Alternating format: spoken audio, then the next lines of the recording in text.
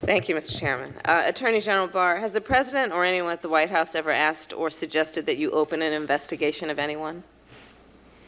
Um, I wouldn't, I wouldn't, uh, Yes or no? could you, could you repeat that question? I will repeat it. Yeah.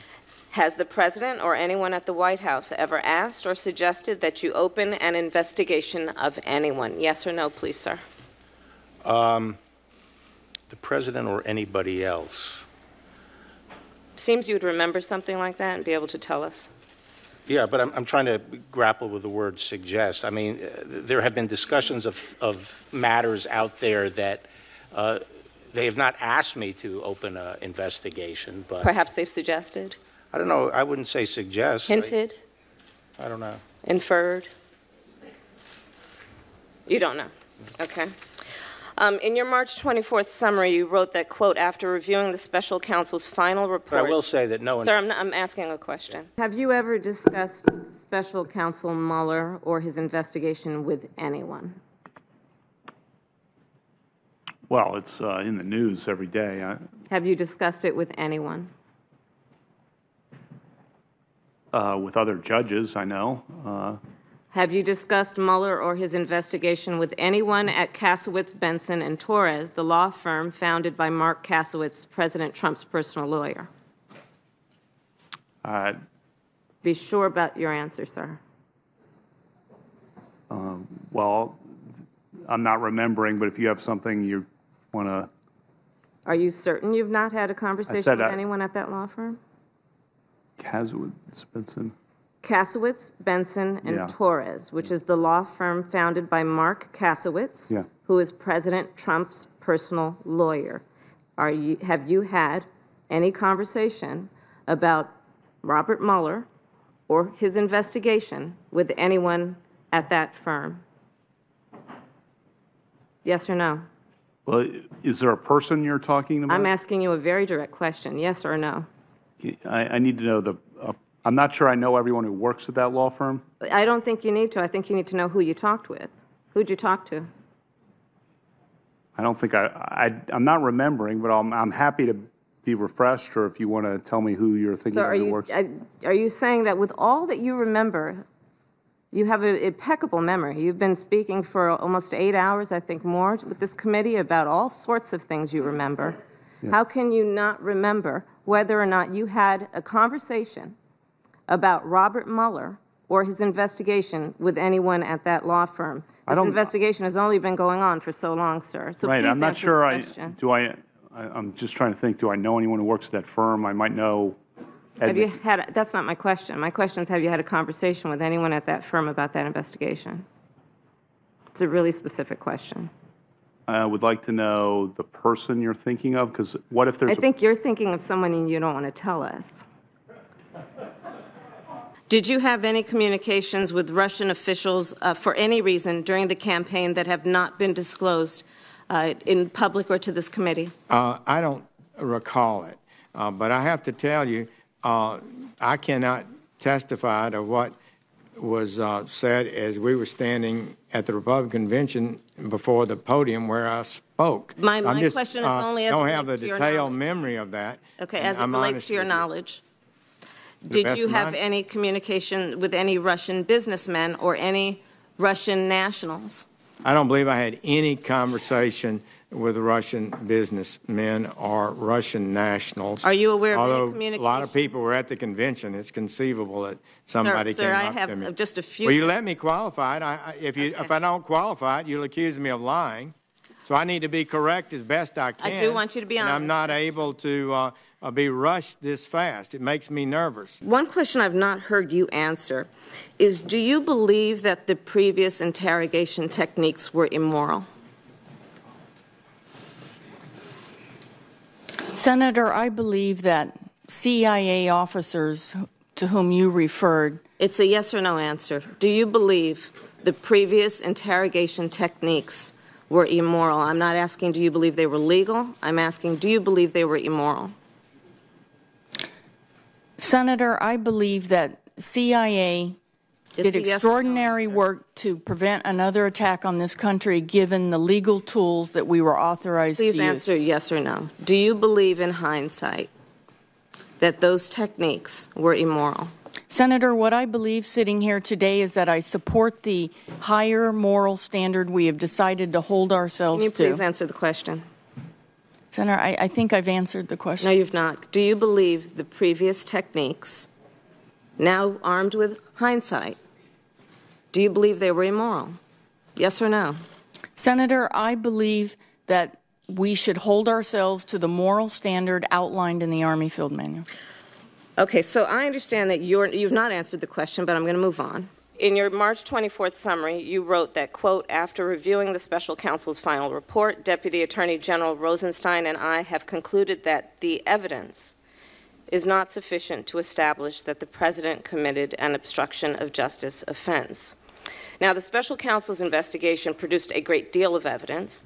Um, I'm led to believe it included witnesses' notes and emails, witnesses' congressional testimony, witnesses' interviews, um, which were summarized in the FBI 302 forms, former FBI Director Comey's memos, and the president's public statements. My question is in reaching your conclusion, did you personally review all of the underlying evidence?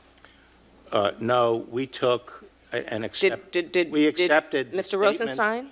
No, we accepted the statements in the report as the factual record. We did not go underneath it to see whether or not they were accurate. We accepted it as accurate and made our. So made you our- accepted the report as the evidence? Yes. You did not question or look at the underlying evidence that supports the conclusions in the report? No.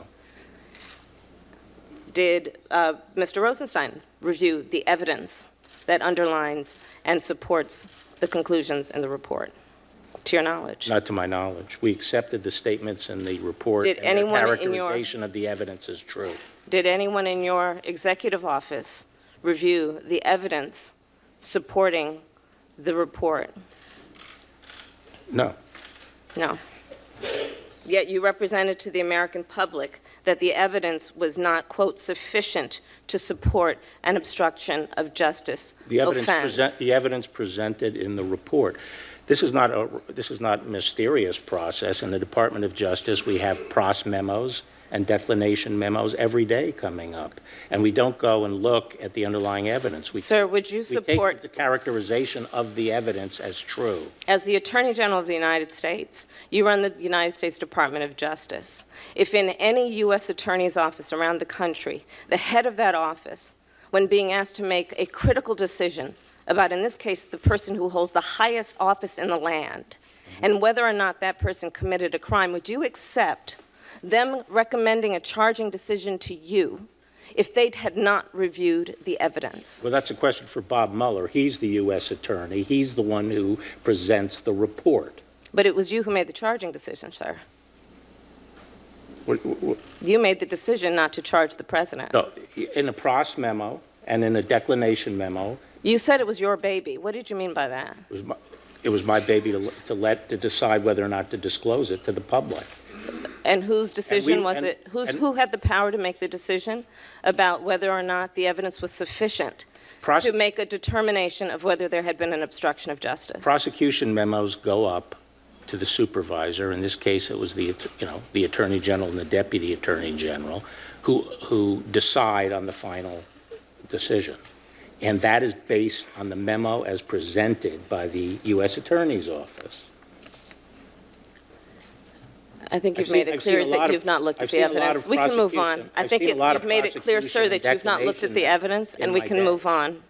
Will you agree to consult career DOJ ethics officials about whether your recusal from the 14 investigations that have been discussed by my colleagues is necessary?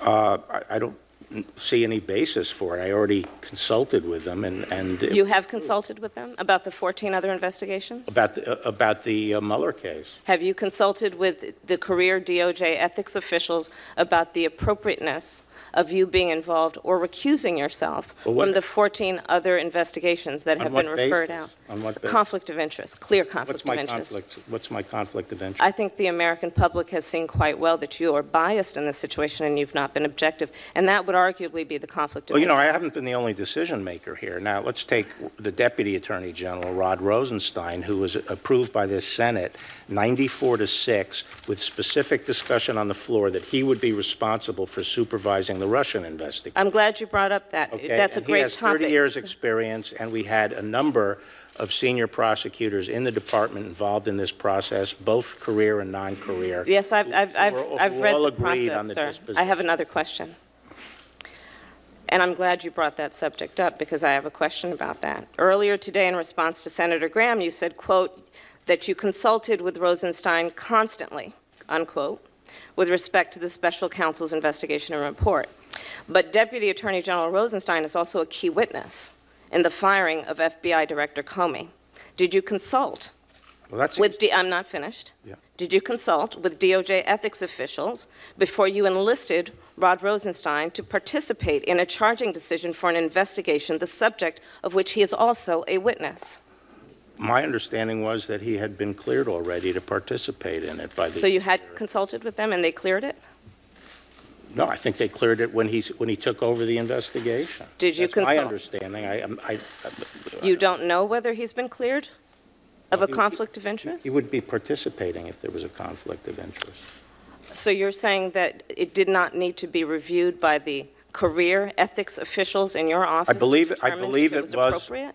Well, I believe it was reviewed, and I And what would was the also point finding? out, this seems to be a bit of a flip-flop, because when the president's supporters were challenging flip-flop, I think, in this Rosenstein... case, is that you're not answering the question directly. What? Did the ethics officials in your office, in the Department of Justice, review the appropriateness of Rod Rosenstein being a part of making a charging decision on an investigation which he is also a witness in? Yeah, my, so, as I said, my understanding was he had been cleared, and he had been cleared before I arrived. By, In making a decision uh, on the Mueller report? yes.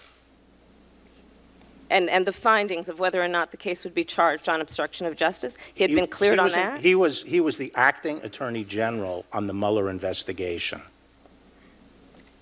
Had he been cleared He had To make- I, I am, by your side, a I am decision informed, I am informed that before I arrived, he had been cleared by the ethics officials, of what? uh, serving as acting attorney general on the Mueller case.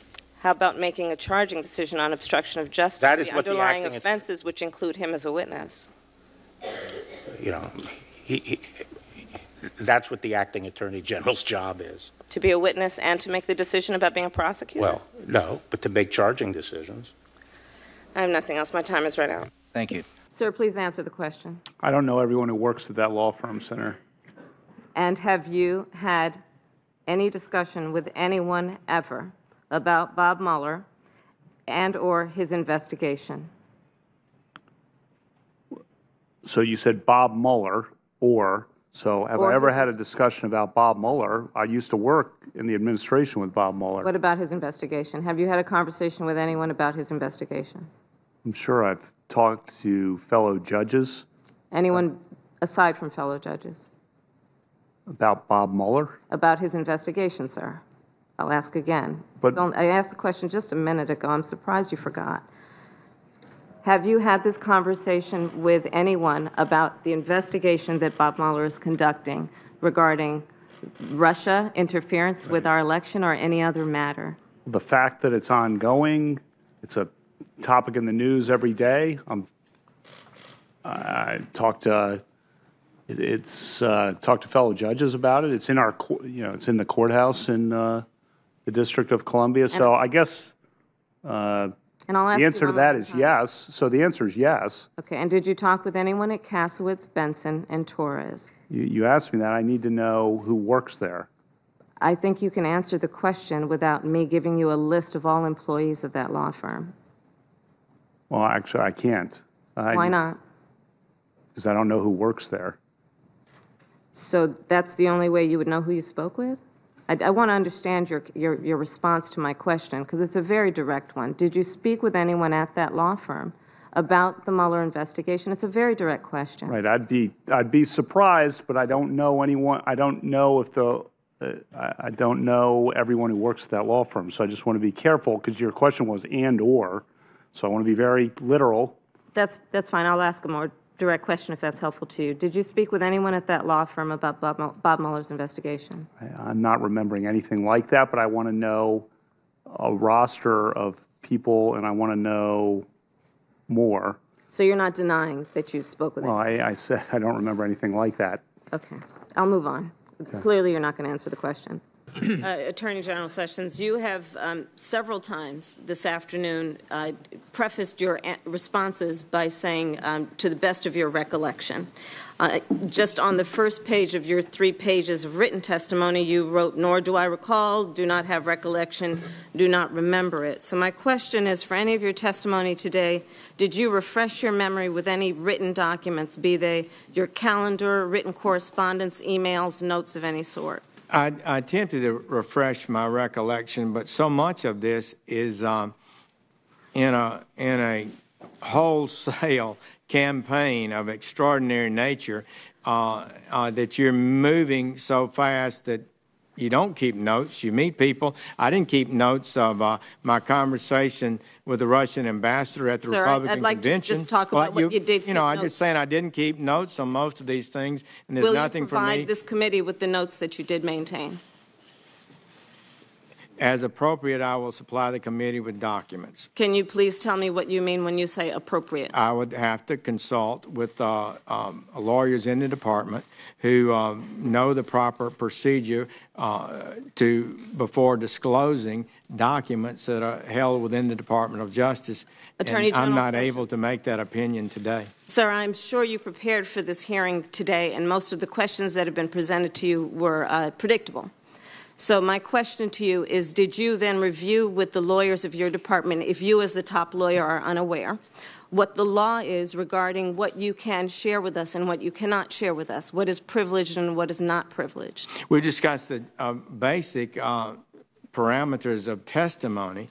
I frankly have not discussed documentary uh, disclosure rules. Will you make a commitment to this committee that you will share any written correspondence, be they your calendars, records, notes, emails, or anything that has been reduced at any point in time in writing uh, to this committee where legally um, you actually have an obligation to do so? I'll commit to reviewing the uh, rules of the department and as uh, and when uh, that issue is raised to respond appropriately. Are you aware of any communications with other Trump campaign officials and associates uh, that they had with Russian officials or any uh, Russian nationals?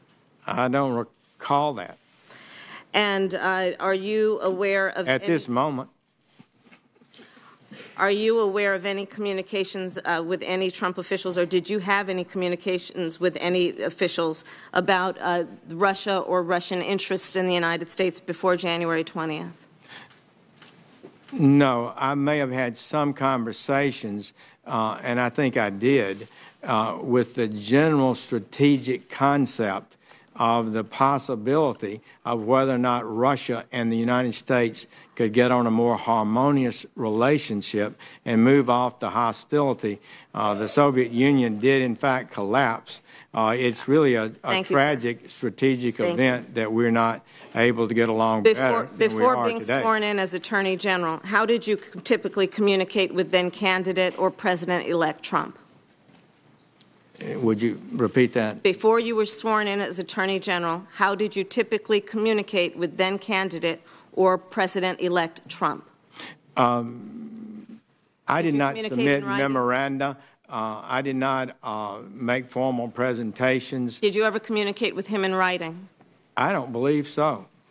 And um, you referred to a longstanding DOJ policy. Um, Can you tell us what policy it is you're talking about? Well, I think most cabinet people, as the witnesses uh, you had before you earlier, those individuals uh, declined to comment because we're all about conversations with the president. Sir, I'm just asking you about the DOJ policy you uh, referred to. policy that goes beyond just the attorney general. Is that policy in writing somewhere? Uh, I I think so. So did you not consult it before you came before this committee, knowing we would ask you questions about Well, it? we, we talked about it. The, the policy is Did you ask that it would be shown to you? the policy is based on the principle that the president. Sir, uh, I'm not asking about the principle. I'm asking when you Well, knew I'm you would be asked answer the these question. questions and you would rely on that policy. Did you not ask your staff to show you the policy that would be the basis for you refusing to answer the majority of questions that have witness been should asked be allowed of to answer the question. Senators will allow the chair to control the hearing. Senator Harris, let him answer.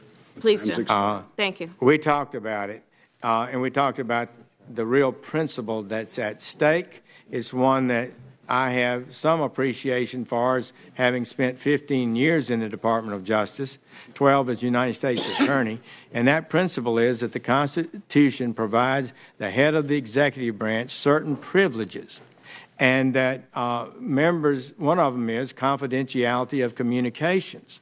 And it is improper for agents of any department of, of uh, any departments in the executive branch to waive that privilege without a clear approval Chairman, of the president. I have asked And that's the uh, Mr. situation we're Sessions, in. for a yes or no, did you ask So your the staff answer is to see yes, the I policy? consulted.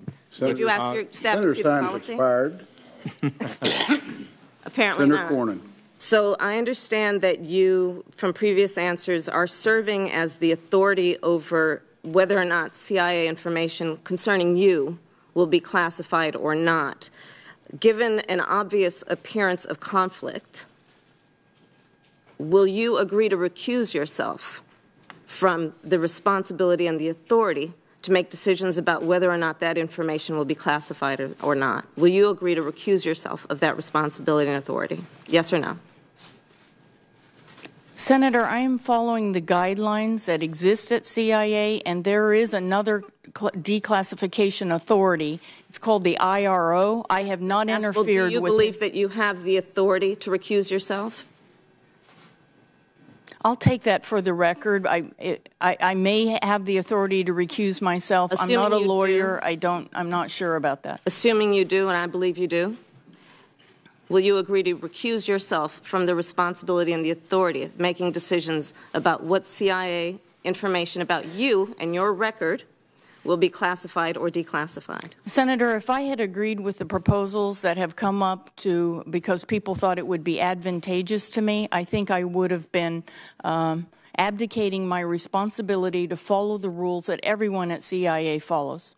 Okay, and you also in this hearing have a responsibility to ask, answer the questions that are being asked of you. I'm going to ask you a different question. Do you, would you agree that given this appearance of conflict or potential conflict around the classification or declassification of these documents, that would you agree that Director Coats instead should have the responsibility for declassification decisions regarding your background? Senator, I think one important thing is that this committee plays a unique role to review the classified record. And we have sent over every piece of paper we can lay our hands on about my classified record, all of my evaluations over a 33 year career. And I hope every senator has had the opportunity to look at that classified material. Indeed, I have. But And- there are. have another question for you then, because it- I only have a few minutes left. I only have a few seconds left. Uh, The president has asserted that torture works. Do you agree with that statement? Senator, I, I, I don't believe that torture works. I believe uh, that in the CIA's program, and, and I'm not attributing this to enhanced interrogation techniques. I believe, as many people, directors who have sat in this chair before me, that valuable information was obtained from senior Al Qaeda operatives that allowed us to defend this country and prevent another attack. Is that a yes? No, it's not a yes. We got valuable information from debriefing of Al Qaeda detainees, and I don't, I don't think it's knowable whether uh, interrogation techniques played a role in that. Senator Thank you. My time is up. expired.